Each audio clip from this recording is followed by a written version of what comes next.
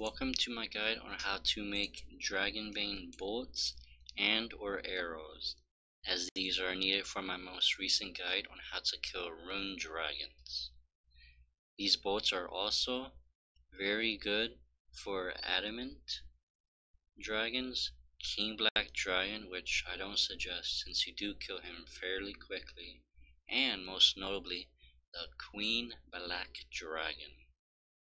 You will hit higher on these if you're using low tier weapons since these do have a little more accuracy buff. For the requirements, you will need Ritual of the Mahjarrat quest completed, 80 mining if you are an Iron Man. If not, you can simply buy the Banite ore off the Grand Exchange. 80 smithing, 87 magic, and to be on the lunar spellbook, 80 fletching along with some feathers, and then 22 invention if you wish to get some invention experience with the augmented hammer or the hammertron.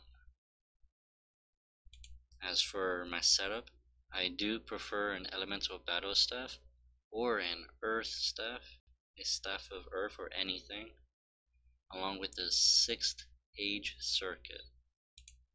And you will need the astral runes.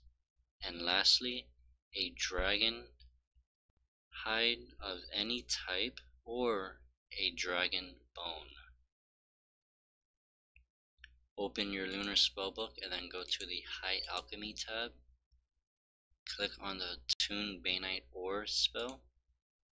And then make sure to click on your Dragon Hide or the Dragon Bones. And then confirm and then you will automatically start making the Dragon Banite Ore. The feathers, if you are an Iron Man, you are able to buy 1000 feathers from Lumbridge, Al Kharid, Port Sarim, or Miscellania Kingdom. Once you have the Dragon Banite ore, go to a furnace so you can smelt it. And then in the middle where it says ore smithing, masterwork, specialist, ore smithing, you'll want to click on the Dragonbane bar and then confirm it to make the ore.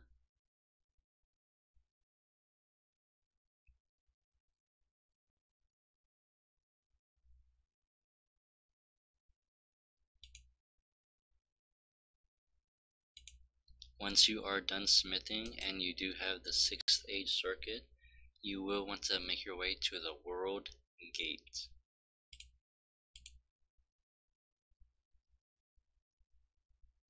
From here run south and if you need to you can quick dial it and make sure to send it to option 2 which is Kethsi and then enter it.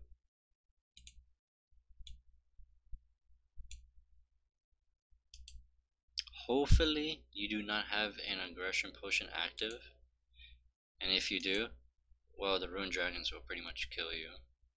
Run south and then make sure to climb up the stairs and then southeast to the building.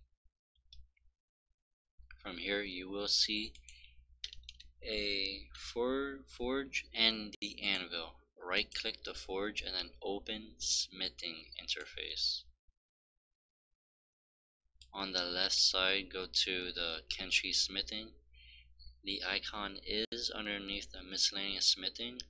With the god sword shard it's directly to the left of it and then here you can make bolts or arrowheads once you begin it you will heat the forge and then make sure you're 100% and then afterwards you can right click it to make another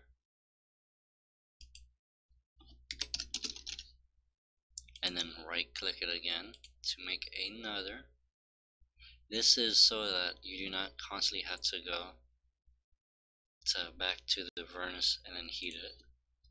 And now click on the anvil. With the method I showed you by opening up the smithing interface and then making more, your player will automatically start the next unfinished smithing item, granted that he has them available. Now for each item, the Dragonbane bolts and or arrows, each bar takes about one minute. You can be lucky and speed it up with using the Juju smithing potion, the Masterwork stroke potion, or the smithing cape, or the invention perk rapid too. But honestly, if you make these like a full inventory of 25, you will make enough to last you a very long time. And as you saw, I finished that item. I immediately got 75 and I automatically start onto the next smithing item. And remember, the logout timer is 5 minutes. So you can come back like every 4 minutes. Just make sure you have more of the smithing item. They look a little copperish in the inventory.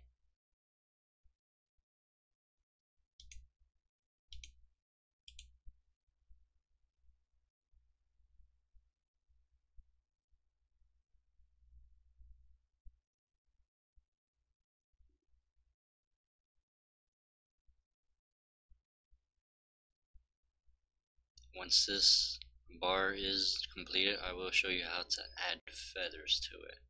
But keep in mind, if you are making Dragonbane arrows, you will need arrow shafts along with feathers to make the headless arrows to add the Dragonbane arrow tips to those to make the Dragonbane arrows. I prefer bolts considering that Ascensions or Shadow Glavins are usually better and cheaper than the 2H version of it. Once you have made enough of the bolt tips or the arrow tips, you can click on either of them and then feather it. And this is where the 80 fletching is a requirement. And then just simply make it like so. You do make these rather fast, so it can be kind of good smithing experience, but it's kind of up to you. Although remember, one bar makes 75. And let's say you make 25 in inventory, you will have 1875 bolts and or arrows which will last a long time while you're killing the queen black dragon king black dragon or any type of dragons. Although I usually recommend just using them on the rune dragons which is nearby. Thank you all so much for watching this little short guide on how to make dragonbane bolts and or arrows. Thank you all so much and enjoy the rest of your day